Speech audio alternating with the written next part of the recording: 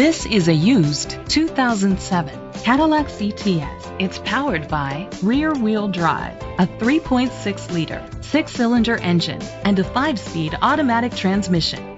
The features include a power sunroof, internet connectivity, electric trunk, leather seats, Sirius XM satellite radio, steering wheel controls, a premium sound system, aluminum rims, auto dimming mirrors, dual temperature controls.